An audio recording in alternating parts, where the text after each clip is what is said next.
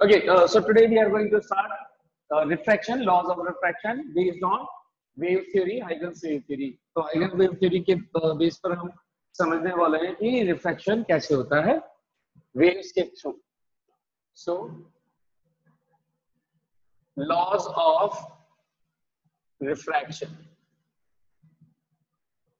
based on wave theory are based on Huygens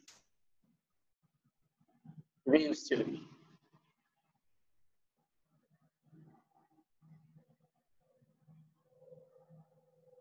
So, in uh, previous lecture, we have already understood how the reflection may occur and what were the laws of reflection based on the uh, wave theory of Huygens. So, Huygens successfully explained the laws of reflection by assuming that or by considering the light as a wave, right?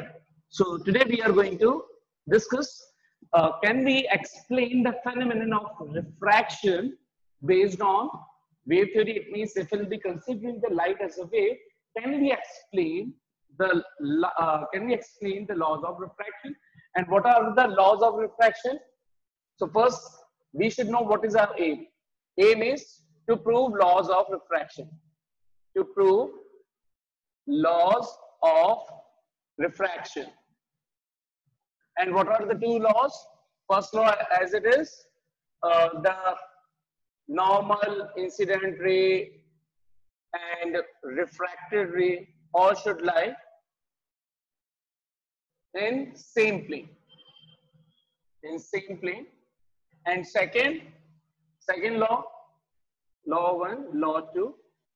According, it is also known as Snell's law, who gave the relationship sin i upon sin r should be always a constant value which is represented by 1 mu 2 that is mu 2 upon mu 1 and mu 2 upon mu 1 we got to know it is uh, refractive index of the medium depends on the light oh sorry light is speed yes so it is written as v1 upon v2 because light uh, speed of light is having the inverse relation with the refractive index. It means either it will be able to prove v1 upon v2 is equals to sin a upon sin r or v2 upon v1 is equals to sin a upon sin r whatever relation would be able to prove that all will be proving that we have proved the second law of refraction. This is our aim. So first we should know what we are going to do. So let's begin. Uh, should i rub it? No let me let me do it. Here let's suppose uh, to explain the laws of refraction, first we need a transparent surface through which the light can pass. Let's suppose this is the transparent surface XY or whatever medium you want, you can take it. Doesn't matter at all. Uh, just like in the previous class, we took the plane wavefront. So here also we are taking all the uh, all the phenomenon would be explained based on considering the light as a plane wavefront because it would be easier for us. Why it would be easier? Plane wavefront in the plane wavefront, all particles will be lying just one below to each other and they all will be producing the parallel perpendicular rays. All rays should be perpendicular to the plane wavefront means all wave, all the rays are perpendicular to the waves. So it would be easier to uh, to explain, to study. That's why we consider the plane wavefront for our study purpose. So for this, we have taken the we have taken first of all which surface transparent surface. Let's suppose we have taken some plane wavefront which is coming in that way and it is about to hit the surface. So let's suppose let me first draw the normal. So it would be easier for us to explain it Punjab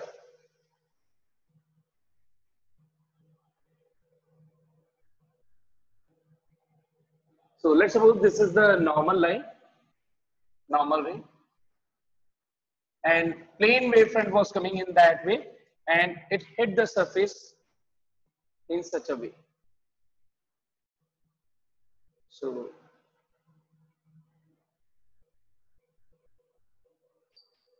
right so let's move. this is uh, which point Point to whatever you like you can take it uh, x5 we have already taken. So let's uh, take it AB,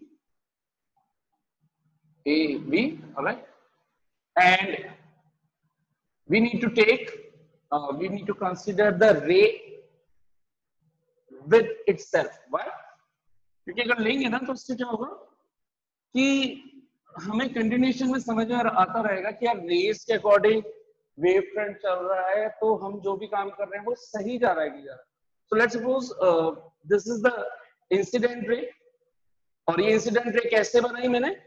पहले मैंने wave front बनाया I draw the first I draw the plane wave front and then I took some perpendicular line on line on it and we know that कि जो भी line perpendicular होती है it acts as a रे for it so अगर ये if this is the plane wave front incident incident plane wave front then ये जो रे है, जिसके परपेंडिकुलर होगी, वो इंसिडेंट रे होगी। एंड अगर ये इंसिडेंट रे है तो नॉर्मल के साथ जो एंगल बनता है, वो एंगल आई होता है। एंड प्रीवियस क्लास में हम चेक कर चुके हैं कि प्लेन वेव फ्रंट के लिए एंगल ऑफ़ आई कौन होता है? जितने एंगल से वो सरफेस के साथ इंटरफेस के साथ इंक्लाइंड होता है। इंटरफेस कौन? एक्स वाई तो एक्स वाई के साथ इसका इंक्लाइनेशन कितना है? That angle should be known as angle I फिर से आप चाहो तो जो पुराने मेथड से चेक कर सकते हो 90 ये वाला आई तो ये 90 माइनस आई इस मतलब इस तरीके से ये वाला 90 माइनस आई फिर ये टोटल 90 उसमें से 90 माइनस आई तो रिमेनिंग आई। तो you can check it in that अब होगा क्या? ये ट्रांसपेरेंट सरफेस है तो इस टाइम पे जैसे जैसे यहाँ से ये सभी पार्टिकल्स आगे बढ़ेंगे तो ये कौन, कौन से इंटरफेस पर आना स्टार्ट हो जाएँगे? इस ए एक्स वाई वाली इंटरफेस पर। सो so, जैसे जैसे पार्टिकल्स यहाँ पर आना स्टार्ट होंगे और आते जाएँगे सो so, इस एक्स वाई सरफेस पर आने पर सभी पार्टिकल्स को हमने बोल दिया कि they will be acting as a fresh source which will produce the new secondary waves ठीक है? यहाँ से आने के बाद। तो लेट सपोज़ ये बी से जो फाइनल पार्टिकल सबसे लेट क्योंकि यही पहुंचेगा। तो लेट सपोज़ ये रेज यहाँ पे आई। ऑब्वियसली बात है कि यहाँ पर जो भी पार्टिकल या जो भी वेव्स बी से पहुंचेंगी, उसके परपेंडिकुलर मैंने एक रे बना दी जिससे हमें ये समझ में आता है। ये रे इस तरीके से कुछ चल रही होगी। बीच वालों को मैंने गायब कर दिया ताकि क्लैरिटी बनी रहे, क्योंकि पहले वाले केस में हम समझ चुके हैं कि कैसे ये सारा सीन चलता है राइट है ना? भावनाओं को फिर से समझ जाना आर्क नहीं स्ट्रेट लाइन है, रही है। तो थोड़ा सा बना देता हूँ।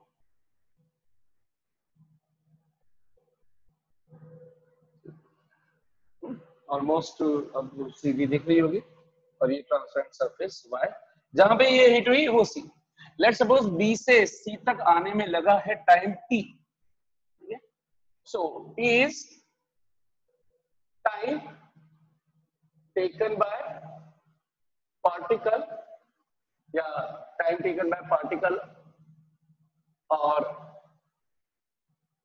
of wave front at B to reach particle at B at B to reach at C कहाँ पे पहुँचा? C पर।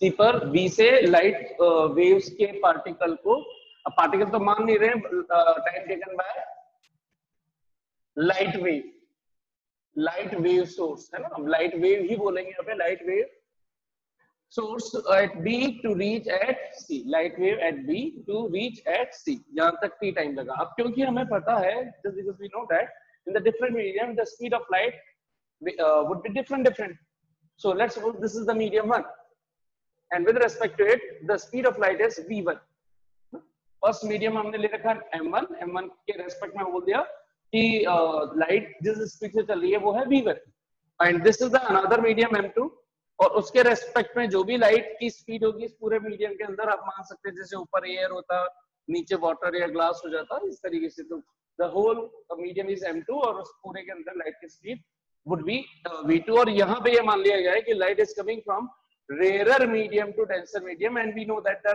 denser medium के अंदर the speed of light is less as compared to rarer so i am assuming that v2 should be less than to v1 it means we are doing the refraction from rarer to denser refraction from rarer to denser उसके बाद आप denser to rarer भी कर सकते हो अगर इस, ये तरीका समझ में आ गया तो। ठीक है।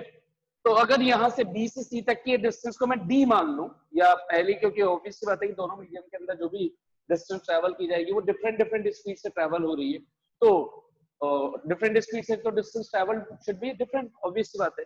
तो v1 should be equals to d1 upon t1 t1 तो t है।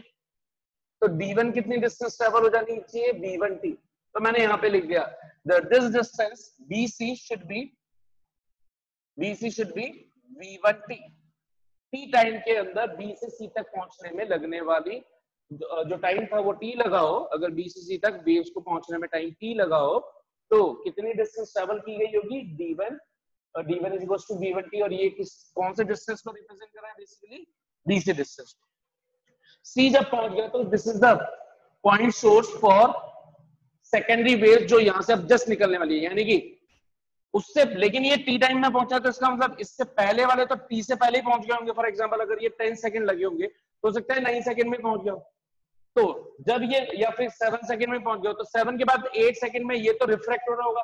रिफ्लेक्ट हो रहा होगा रिफ्लेक्ट नीचे आएगा।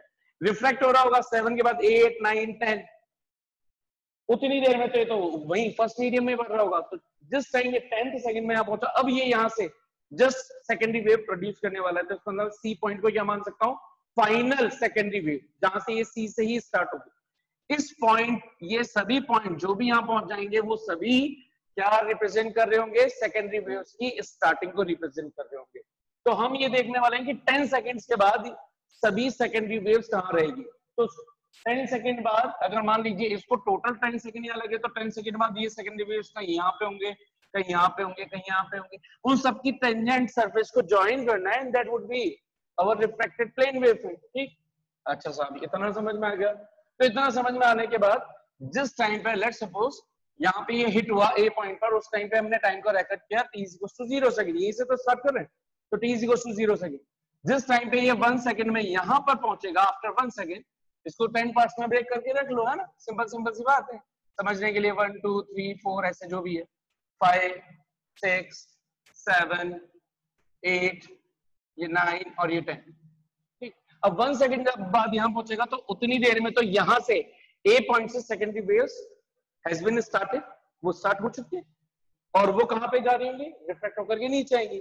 हमें पता है कि रिफ्लेक्शन कैसे होता है? रिफ्लेक्शन के अंदर रेस बैंड हो जाती है तो मुझे नहीं पता, यही तो हमें प्रूव करना है कि वो वेव्स कौन सी होंगी। तो पहले देखें कि वन सेकंड के बाद वेव्स कहाँ आती थोड़ा पहले मैं रेस से समझा देता हूँ, जो हमें बेसिकली पता होता है। फिर उसके बाद वापस से इसको वेव के लिए प्रूव कर लेंगे। तो ये पता है कि अगर ये रे इस तरह से आती है रेयर से डेंसर के अंदर तो इट बेंड टूवर्ड्स नॉर्मल तो ये इस तरह से कुछ मुड़ जाएगी। तो वन सेकंड बाद इधर आएगी, फिर टू सेकंड थ्री सेकंड यानी कि बेसिकली ये जो रेस आएँगे, वो इधर रहेंगे। ये सब इधर रहेंगे। तो इसी तरह से ये यहाँ पे आई होंगी। फिर ये इधर की तरफ़ बैंड हो जाएँगी। फिर ये यहाँ आई। यहाँ के बाद ये तो वन टू थ्री सेकंड में करते करते उतनी देर में ये अंदर की तरफ़ बढ़ती जाएगी। बट दैट इज़ श्योर कि जो टेन सेकेंड होंगे टेन सेकंड या अगर इसने बीसी डिस्टेंस ट्रेवल करी है वी स्पीड से, है ना? समझने के लिए मान लो कि वी वन की 100 मीटर पर सेकेंड है। तो टेन सेकंड में इसने कितनी डिस्टेंस ट्रेवल कर ली होगी? थाउज़ेंड मीटर है ना? वी वन इंटू टी ठीक है? तो वी वन अगर 100 मीटर ले लें और टाइम हम टेन सेकेंड ले रहे हैं तो डी वन कितना हो जाना चाहिए? V one into T hundred into ten one thousand metre तो बीसी डिस्टेंस को समझने के लिए मान लो कि थाउज़ेंड मीटर डिस्टेंस ट्रेवल हो चुकी है। लेकिन अंदर तो वी टू स्पीड है और V two speed V one से काफ़ी कम है या वी वन से तो कम ही है। इसका मतलब अगर मैं बोल दूँ कि 50 मीटर पर सेकंड है तो सेम टाइम इंटरवल जितने टाइम में बी से सी तक रेस रीच उतने टाइम में how much distance would be travel from point A wave how much distance they will travel तो d2 is equals to v2 into t2 और t2 तो हम सेम टाइम इंटरवल ले रहे हैं। V2 into t, यानी कि 50 into 10 तो इसका मतलब ये तो 500 मीटर डिस्टेंस से ट्रेवल करेगी। ऑब्वियस सी बात। कि नीचे की अगर अंदर की स्पीड आप कम ले रहे हो टाइम सेम ले रहे हो तो अगर ये थाउज़ेंड मीटर ट्रेवल करेगी तो नीचे अंदर आने वाली सभी डिस्टेंस क्या हो जाएँगी? कम हो जाएँगी। और सभी के अंदर, इस पूरे मीडियम के अंदर, चाहे किसी भी पॉइंट है, सबकी स्पीड वी टू ले रहे हैं। और सभी के लिए टाइम इंटरवल कितना ले रहे हैं? टेन सेकेंड तो हर एक पॉइंट से जो भी डिस्टेंस ट्रेवल होने वाली है, ठीक है अलग अलग टाइम इंटरवल के अकॉर्डिंग वो 50 इंटू टी तो 50 इंटू टेन किसके लिए? तो इसके लिए तो ये 50 मीटर ट्रेवल कर लेती है टेन सेकंड में. अब मान लीजिए इसने वन सेकंड तो यही ले लिया तो रिमेनिंग नाइन सेकंड इसके लिए? ये वन सेकंड में यहाँ आई और ये वन सेकंड में यहाँ पहुँच चुकी थी. फिर नेक्स्ट टू सेकंड में यहाँ पहुँच चुकी थी, फिर ये रिफ्लेक्ट होगी तो ये तो नेक्स्ट टू सेकंड में यही पहुँची तो अब इसके लिए तो नाइन सेकंड ही बचे तो ये फिफ्टी इंटू नाइन होगा। तो इस तरीके से सबकी कहीं ना कहीं अगर ये यहाँ पहुँची है तो ये कुछ यहाँ पहुंचेंगी, कुछ ये यहाँ पहुंचेंगी, कुछ यहाँ पहुंचेंगी। इस तरह का कुछ पैटर्न आ रहा होगा। ठीक तो हम एक्सट्रीम पॉइंट्स की के लिए डिस्कस करते हैं, जिससे हमें आसानी हो जाए समझने में। तो ये इतना समझ में आ गया जो हमने लेट सपोज़ बोला कि अगर 10 सेकंड के अंदर distance has been travelled is bc which is equals to v1t let suppose whatever distance has been travel it should be V two T अब वी टू टी कितना हो गया? डी टू हमने बोल दिया कि लेट सपोज़ इतनी travel होगी सर तो इतनी ट्रेवल होगी तो वो वेव्स किस डायरेक्शन में? तो हाइगन्स थ्योरी क्या बोलती है? कि all the light source which are present on the interface should act as a fresh source for the upcoming secondary waves first of all first law second law they should spread in all the direction equally in a same medium. तो same medium में वो सभी की सभी कितनी distance पर spread होनी चाहिए? तो वही कल का फॉर्मेशन कि अगर मैं यहाँ से बोलूँ कि d2 डिस्टेंस ट्रेवल करनी है तो कौन सी डायरेक्शन में? अभी नहीं पता।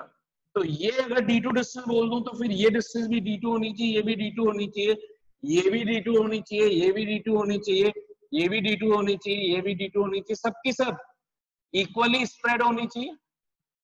और इक्वली हो तो ये सब रेडियस का ही काम करनी चाहिए, यानी कि एक हैवी स्क्वायर फॉर्म के अंदर होनी चाहिए। तो मैंने क्या किया कि d2 जो भी आ रहा था d2 कितना आ रहा था? V2 इंटू टी इसकी माइंड में भी वैल्यू मान रखी है अपने कितनी?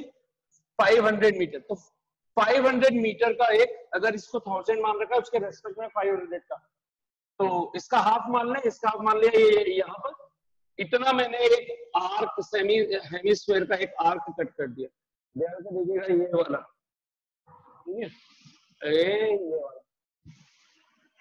तो इसकी ये जितनी डिस्टेंस है, उतना यहाँ लिया। पहले यहाँ रखा। ये इसकी हाफ़ डिस्टेंस और इस हाफ़ से हमने क्या बना दिया? एक हेमिस्फेयर बना दिया। मैं इनको रब कर देता हूँ, ताकि आपको थोड़ी सी बेटर क्लैरिटी मिल जाए।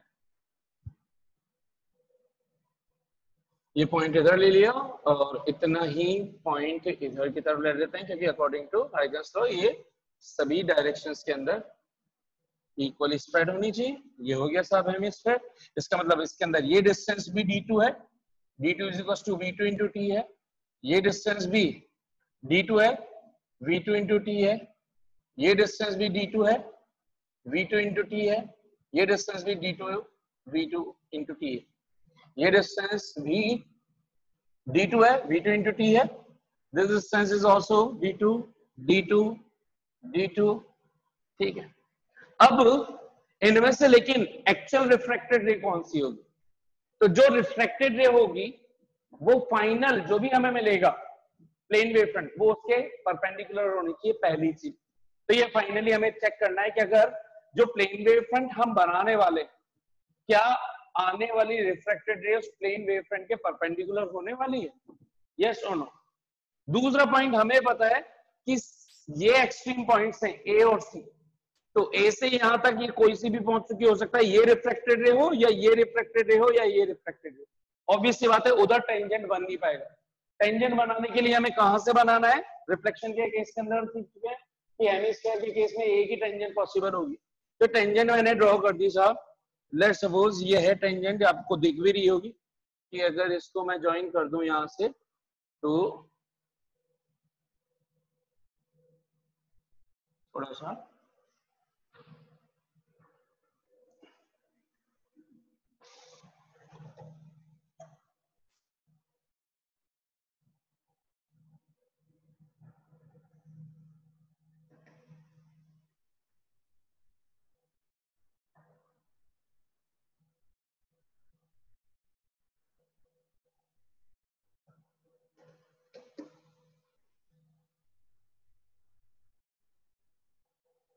ये देखिए। This is the perfect tangent ये वाला पॉइंट इसका मतलब ये पॉइंट डी होना चाहिए, और ये डी होगा तो कंपलसरी अब ए से डी को ज्वाइन करूँगा तो वो हमारी क्या होनी चाहिए? रिफ्लेक्टेड और ध्यान से देखें तो दिस इज़ 90 डिग्री तो अगर ये रिफ्लेक्टेड है, और ये प्लेन वेव फ्रंट है, कौन सा वाला? रिफ्रैक्टेड रे वाला। देन प्लेन वेव फ्रंट के हमेशा परपेंडिकुलर होती है रेस तो ये रिफ्रैक्टेड रे है भी से परपेंडिकुलर नज़र भी आ रहा है। दिस इज़ रिफ्लेक्टेड खासियत ये कि होंगी तो यहाँ से अगर ये होती टेंजेंट तो ये भी परपेंडिकुलर ही होती। लेकिन खासियत या सबसे मेन इंपॉर्टेंट पॉइंट ये कि टेंजेंट तो एक ही लाइन मिल सकती है। सी से ज्वाइन होने वाला जो डी पॉइंट होगा, वो एक ही मिलेगा, कोई यूनिक है। तो इस वजह से कंपलसरी यही प्लेन वेव फ्रंट आपका बनेगा और इन सबके अंदर आपकी केवल जो ये वाली जो रे है, वही रिफ्लेक्टेड होनी इससे मतलब बाकी का काम खत्म, ये बाकी का काम खत्म, ये बाकी का काम खत्म, ये खत्म।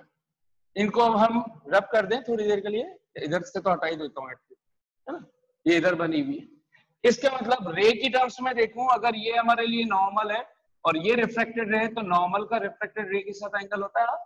It should be the angle R right इसके लिए क्या होना चाहिए? तो हमने देख रखा है कि भाई जो प्लेन जैसे incline plane wave plane wave front था रिफ्लेक्टेड वो जितने से इंक्लाइन हुआ था, ये था ऐसा और ये इंक्लाइन हुआ था तो ये एंगल आई था तो ये एंगल आर था तो इसके अंदर ये इस तरह से इंक्लाइन हुआ तो इसका मतलब ये एंगल आर होना चाहिए। तो हमें अब ये यार इतना समझ में आ गया कि या फिर हाइगर ने बोल दिया कि मैं ये क्या ले रहा हूँ? ये ये प्लेन वेव फ्रंट जो एंगल बनाता है इंटरफेस के साथ, वो उसके कॉरेस्पॉन्डिंग एंगल होते हैं। तो अगर ये इंसिडेंट प्लेन वेव फ्रंट था जितने से इंक्लाइन हुआ था उसको हमने आई बोल रखा था तो ये इसके लिए एंगल आर का काम कर रहा है। ठीक है? तो ये तो हो गया साहब रिफ्रैक्शन अब हमें प्रूव करना है मैथमेटिकली ये। इतना काम हमने कर लिया। तो पहले तो ये बताइए कि इतना यहाँ तक कितनों को अच्छे से समझ में आ गया। राइट तो ये देखिए मैंने बना दी कि वेव्स किसी एक पर्टिकुलर डायरेक्शन में होनी चाहिए थी। रिफ्लेक्टेड वेव तो ये मैंने रिफ्लेक्टेड यहाँ पे बना दी। और ये बड़ी वेव्स बना दी ठीक है?